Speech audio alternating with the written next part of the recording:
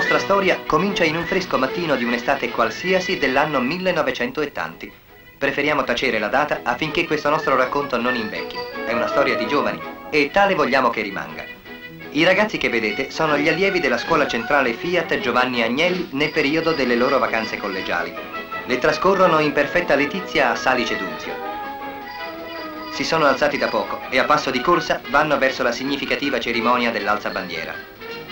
Un allievo dice la preghiera del mattino, che ha nell'animo di ciascuno un'affettuosa rispondenza. Ascoltiamola.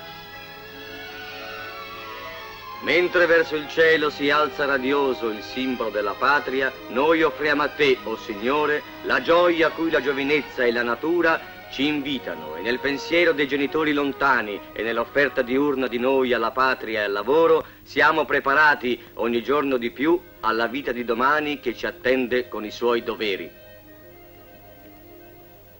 Sale la bandiera nel limpido cielo dell'arco alpino. Questo giorno è iniziato sotto i più sereni auspici. E adesso sotto ragazzi, vediamo chi è più bravo. Qui ci vogliono gambe, occhio e scelta del tempo. Dal fondo la torre dalle linee architettoniche care alla Fiat ammicca Sorniona. Sono tanti anni che vi ospita e sa tutto di voi.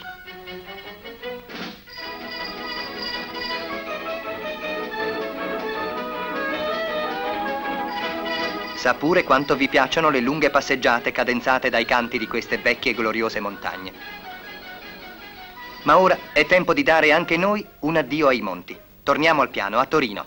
Questo è Corso Dante, dove ora c'è la scuola, sorgeva nel lontanissimo 1899 la prima sede della Fiat. Lo stile Liberty ha ceduto il posto al funzionale e arioso stile moderno. Non sono ancora allievi, ma sperano di diventarlo tra poco. Iscrizioni aperte. Le mamme seguono con trepidazione i figli mentre riempiono gli appositi moduli. Poi il tutto viene ingoiato tra gli incartamenti di una agguerrita segreteria. Ma c'è da superare una serie di prove e di esami. Questa è la prima. Al via dell'insegnante i candidati si precipitano più che piegarsi sul foglio di carta. Si tratta di contare con la maggiore esattezza possibile tutti i puntini contenuti nei vari riquadri del foglio. Chi nel tempo massimo di 5 minuti ne avrà contati di più e con maggiore esattezza avrà naturalmente una migliore classifica. Questa rientra nel quadro delle prove psicotecniche.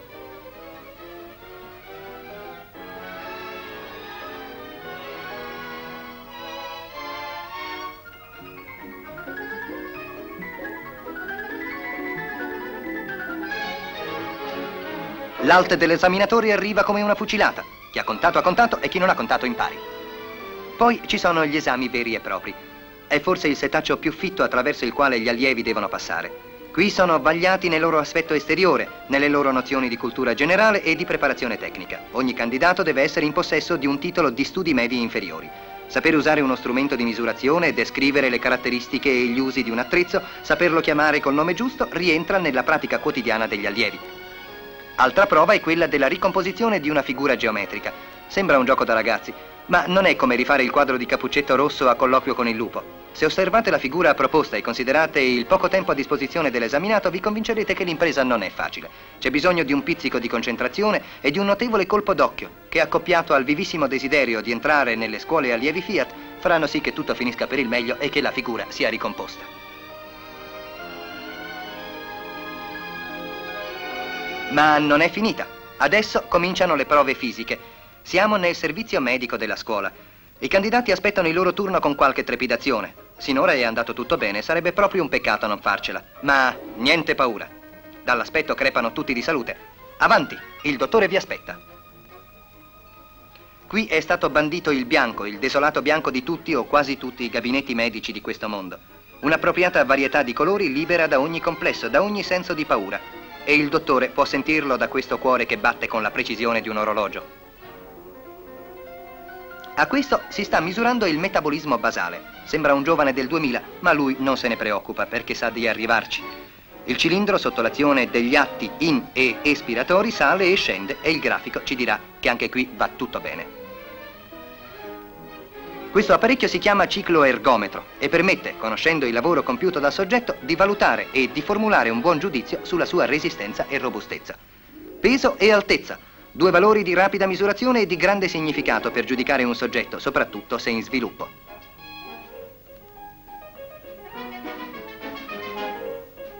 La fotografia rientra nella serie di esami e misure che tra loro coordinati servono a valutare il soggetto dal punto di vista della biotipologia.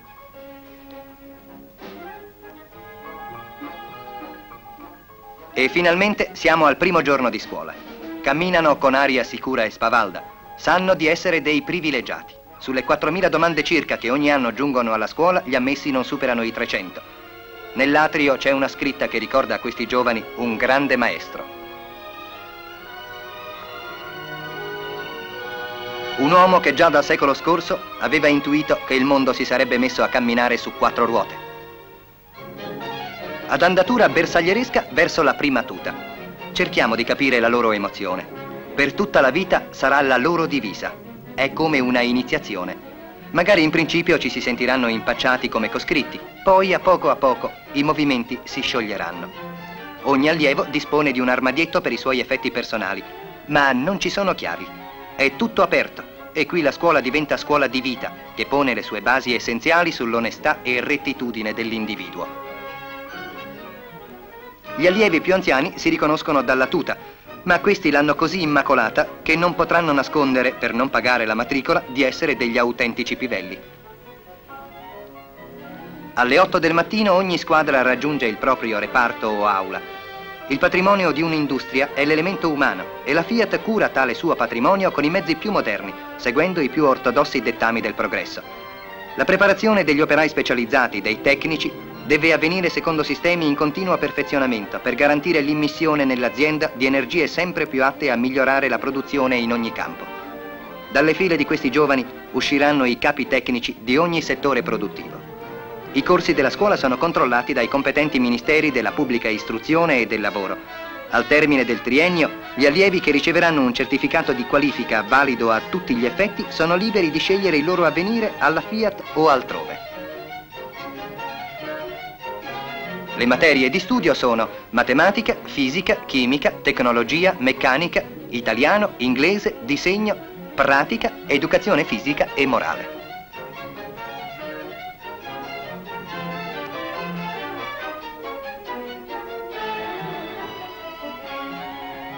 Tra i vari corsi predisposti dalla scuola fa spicco quello di elettronica industriale, che è stato corredato di un attrezzatissimo laboratorio sperimentale. Qui gli allievi scoprono il mondo nuovissimo di questa disciplina, la cui applicazione è stata resa dalle mutate esigenze del mondo moderno di fondamentale importanza. Sono ancora agli inizi, ma presto sapranno addentrarvisi sicuri.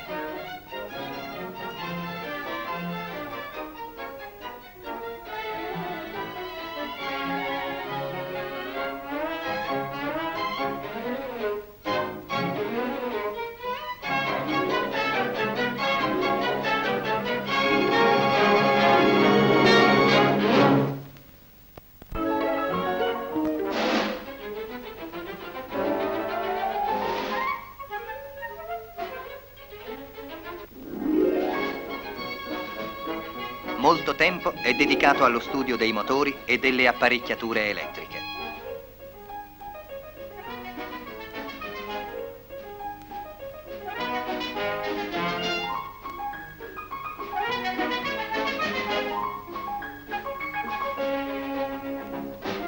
Nel reparto aggiustaggio lavoro di lima e di cesello.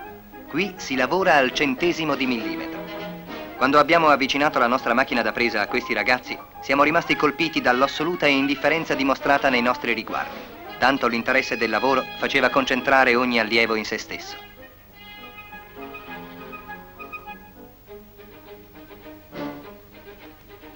Al mattino ad ogni allievo viene affidato un compito, un esercizio di programma oppure un particolare di uno strumento o di una macchina da costruire. Portarlo a termine alla perfezione è per gli allievi un punto d'onore perché possa degnamente figurare in questa vetrina di capolavori.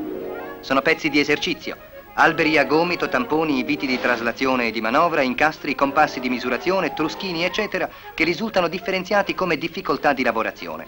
Per ognuno di essi però valgono certe regole generali da cui dipende la qualità dell'esecuzione. Si tratta dell'osservanza delle prescrizioni di finitura superficiale, del rispetto assoluto delle tolleranze prescritte, di economia nella lavorazione come differenziazione fra le caratteristiche delle varie superfici costituenti il pezzo. È una vera e propria trafila di esercitazioni adeguate ai diversi stadi dell'insegnamento che abitua ogni allievo alla risoluzione dei molteplici problemi di lavoro allo scopo di raggiungere una piena formazione professionale.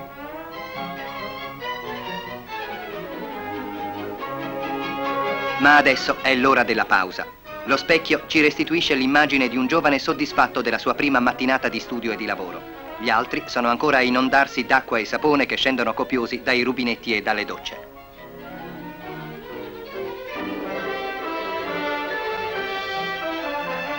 Un po' di ginnastica non fa mai male. La scuola possiede una palestra ginnica che farebbe gola ai più celebri campioni. Dal loro campo gli allievi aeromodellisti si assuefanno ai primi rudimenti del volo. Traducono in atto quelle prime nozioni che hanno appreso dai libri di aerodinamica, facendo volteggiare nel cielo i modellini ad elastico o radiocomandati che si sono costruiti con un paziente lavoro. Non diventeranno piloti, ma formeranno quella schiera non meno gloriosa che permetterà ai piloti di domani di saettare nel cielo alle supersoniche velocità degli aviogetti. Dalla pratica alla teoria. Ore 15, lezione in aula.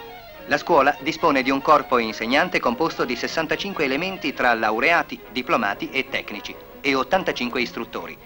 L'interrogazione in tutte le scuole è sempre una specie di tortura. La domanda può essere tendenziosa o cogliere l'allievo impreparato. Il bisbiglio sommesso dei compagni può distrarre. Ma qui vediamo solo espressioni attente. La domanda rivolta a uno è una domanda rivolta a tutti e ciascuno mentalmente sta dando la sua risposta.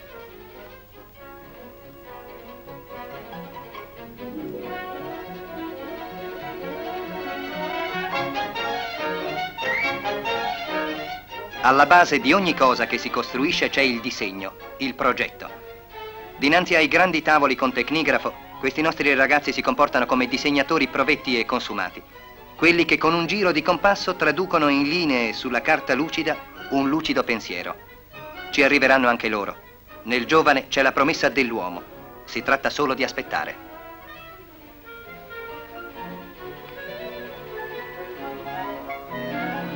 Nell'officina, accanto alle macchine più moderne e aggiornate, i giovani respirano l'aria dello stabilimento.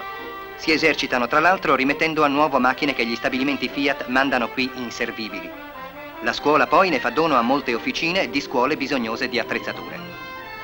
Le strade che nell'ambito della sua produzione la Fiat apre a questi giovani sono molteplici. Automobili, trattrici, motori e apparecchi di aviazione, motori marini, materiale ferroviario, siderurgia, acciaierie, fonderia, uffici progettativi, laboratori sperimentali, uffici commerciali, eccetera. Il passaggio dalla scuola allo stabilimento sarà reso agevole dalla forma mentale che in tre anni di applicazione e di studio gli allievi avranno assimilato. Si saranno fatti le ossa, come si dice.